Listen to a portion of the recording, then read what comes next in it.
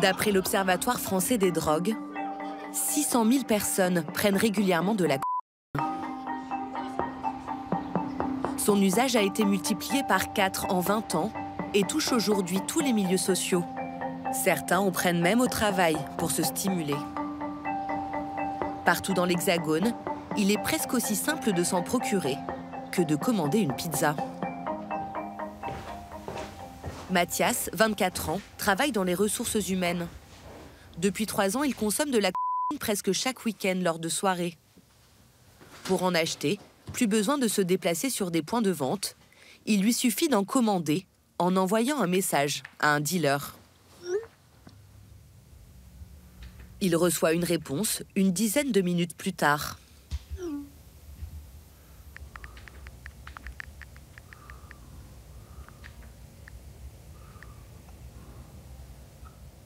Des contacts comme celui-ci, Mathias en a une dizaine dans son répertoire. J'en ai au moins euh, quatre euh, à qui je fais appel de temps en temps. Mais euh, si jamais j'ai besoin, je peux en trouver très facilement des dizaines et des dizaines. Comment?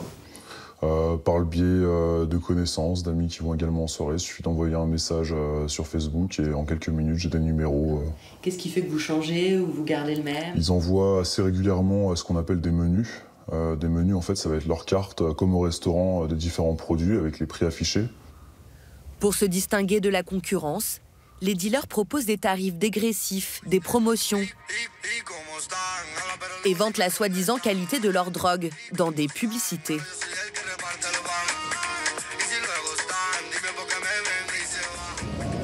Vingt minutes plus tard, le livreur se présente déjà en bas de l'immeuble.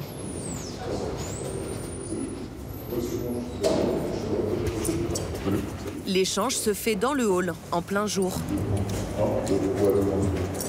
Le dealer ne semble pas inquiet d'être surpris par d'autres résidents de l'immeuble. Il risque pourtant 5 ans d'emprisonnement et 75 000 euros d'amende.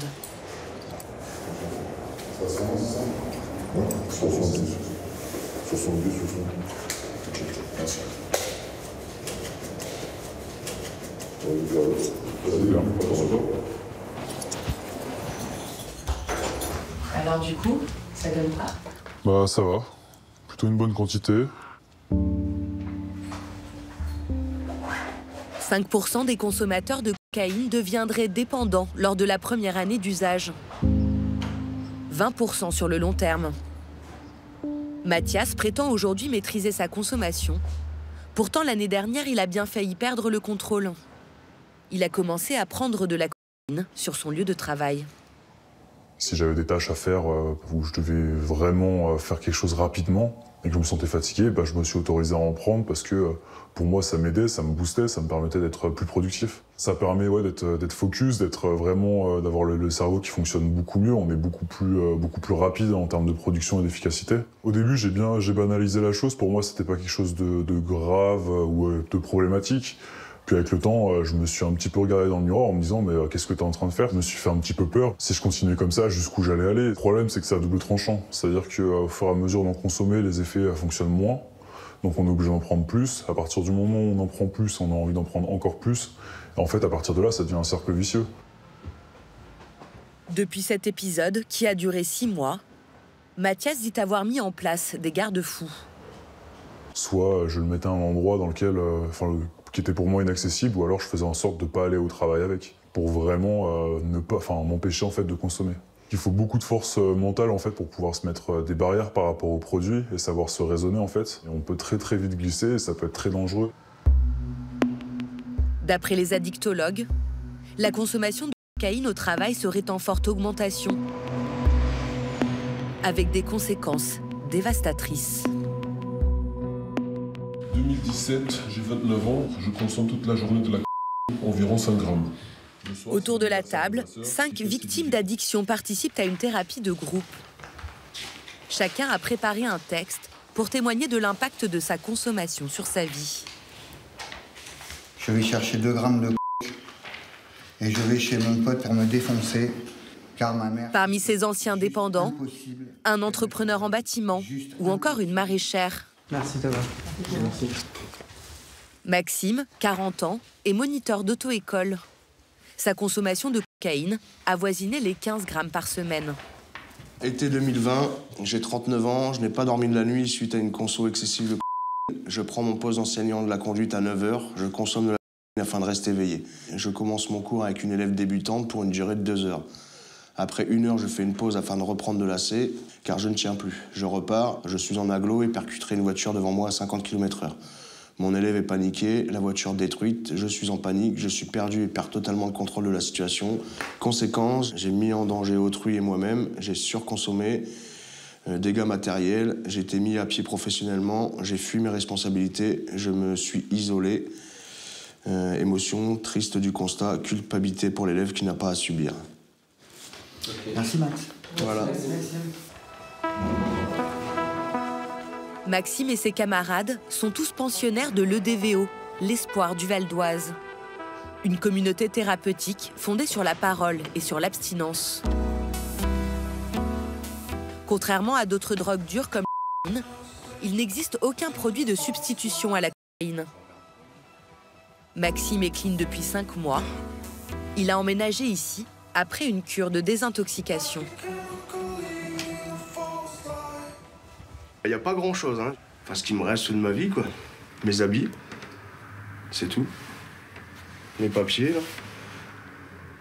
Ouais, c'est tout. C'est tout. J'ai rien d'autre. Mais là, si je suis pas ici, je suis à la rue, hein. De toute façon. Ça, c'est sûr. hein. Ce père de famille a tout perdu à cause de la coke. Il ne voit sa fille de 8 ans qu'un week-end sur deux.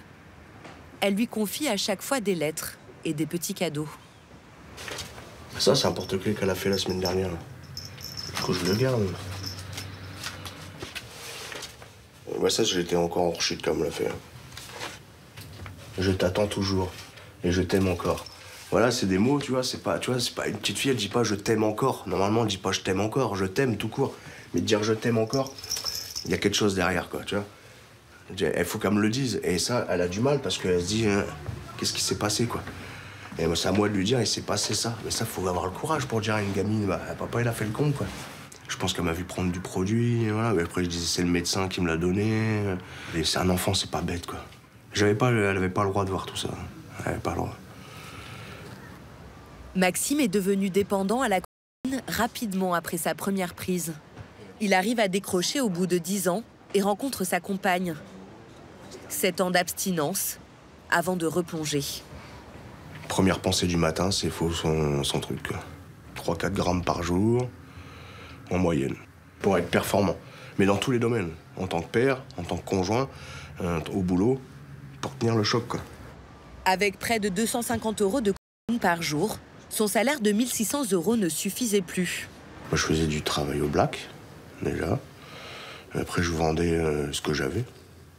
Je vendais tout ce que je pouvais, je volais. Chez mes proches. Euh, on allait me donner 60 euros pour mettre de l'essence, je mettais 5 euros de- d'essence et j'allais chercher le reste du matos, quoi. Par exemple. C'est un exemple parmi tant d'autres. Il y a 5 ans, sa compagne finit par le quitter. C'est la descente aux enfers. Il perd son emploi et accumule 70 000 euros de dettes. Le 4 décembre, j'ai essayé de me faire en l'air. J'ai mis 1200, 1300 euros en 2-3 heures dans le, dans le naso, en fumée. Ouais, je voulais que mon corps il s'éteigne. L'envie de plus être. C'est bizarre, hein, je sais pas euh, comment expliquer, mais. Plus être là. Juste plus être là. Peut-être pas l'envie de mourir, mais plus être là, quoi. Juste euh, stop, quoi. Maxime a l'autorisation de sortir les week-ends, notamment pour rendre visite à sa famille près de Saint-Quentin, où il a grandi. Sa sœur lui a prêté sa voiture. Même dans cette campagne picarde, des ravages. C'est ici que Maxime en a pris pour la première fois, à l'âge de 15 ans. J'ai consommé partout, ici. Partout. hein. Que des mauvais souvenirs. On se croit tout puissant à 20 ans. hein. Tout va bien se passer, bon. J'ai potes qui sont morts et tout ici à cause de ça. Même dans ce village-là. Depuis son sevrage, il y a cinq mois, Maxime renoue peu à peu avec sa grande sœur. Manu Non, j'aime pas, je suis trop loin de toi. Emmanuelle est aide-soignante. Elle est une des rares à ne lui avoir jamais tourné le dos malgré ses démons. Elle l'a même hébergé quand il n'avait plus de logement. Mais je l'ai déjà secoué. hein. Ah oui. J'ai même déjà dit, euh, quitte à le prendre et puis à l'enfermer dans une pièce et. euh, j'ai- pensé. hein. Et aujourd'hui, vous y croyez? On verra.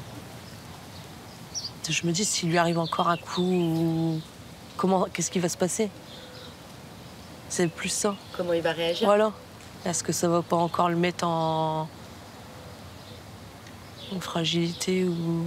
Tu dis non, mais moi je sais pas. C'est normal. À moi de faire mes preuves pour moi et après eux ils verront. J'ai plus envie de me justifier, compagnie, tout ça, c'est non, ça sert à rien. Poser des actes, comme on dit chez nous, enfin euh, dans mon monde maintenant. Poser des actes et point. D'ici moins d'un an, Maxime espère retrouver un travail, avoir son propre appartement. Mais même après un long parcours de soins, reprendre une vie normale sans rechute implique une vigilance de chaque instant. Ludovic, 46 ans, vient de sortir d'une cure d'un an et demi dans une communauté thérapeutique après avoir fui la capitale. Serveur dans de grandes brasseries parisiennes, il consommait jusqu'à 15 grammes de cocaïne par semaine. Alors qu'il hésitait à se reconvertir pour mieux rompre avec son passé, il vient de retrouver du travail dans un restaurant gastronomique à Nîmes, loin de ses anciennes fréquentations. Ah. C'est le métier que je sais faire, que j'aime faire, et je me vois pas faire, euh, autre chose.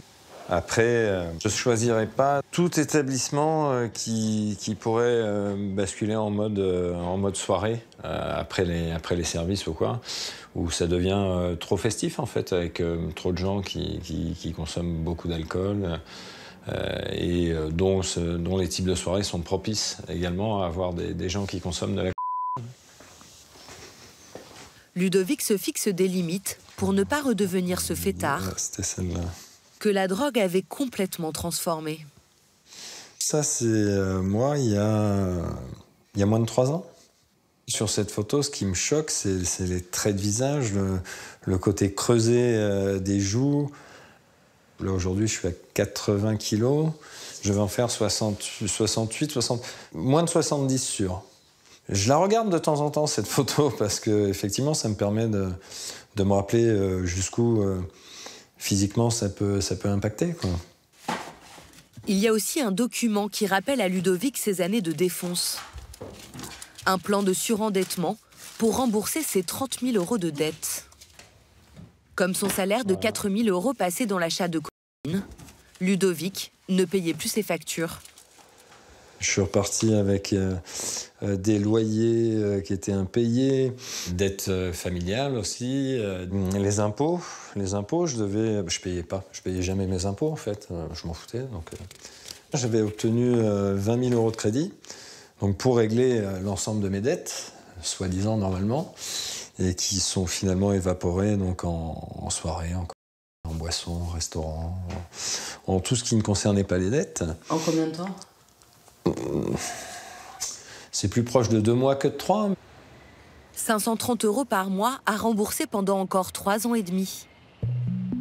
Ludovic bénéficie d'un faible loyer pour l'aider à se réinsérer. 150 euros par mois pour cet appartement que lui loue une association. Faire table rase du passé, c'est aussi reprendre une vie sociale sans cocaïne. À Nîmes, Ludovic s'autorise enfin à ressortir avec ses nouveaux amis.